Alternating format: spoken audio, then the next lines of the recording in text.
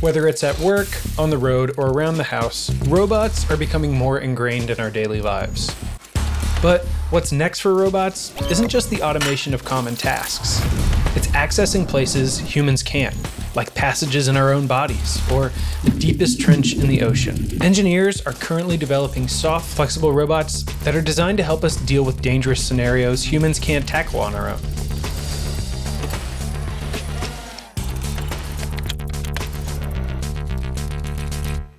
Robots can be clunky. They can be dangerous in intimate settings, and their design can limit their capabilities.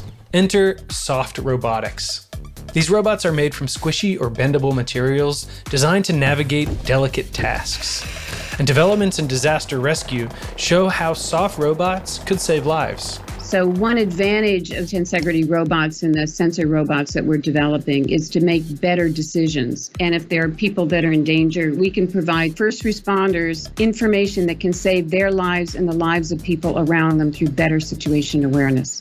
These flexible soft robots can be dropped into hazardous scenarios from aerial drones. Their soft compliant bodies allow them to navigate rough environments and share live data with first responders.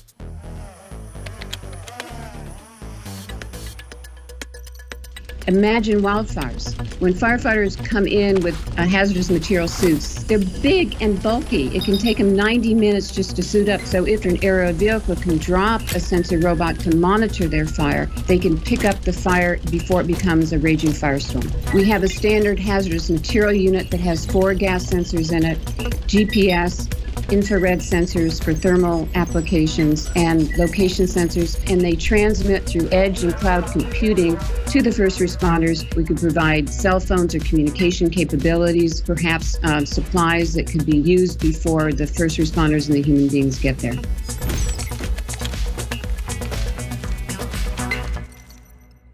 Before soft robots can operate close to humans, their sensibilities need to keep improving. I think sensors can help soft robots be safer because they'll help them understand if a soft robot hand goes to shake a person's hand, is that a, a nice, gentle grip, or are you squeezing someone's hand and making them uncomfortable? And developing sensors further, in packing more sensors into a small space, or uh, letting them measure finer pressures or textures uh, will help all of those problems.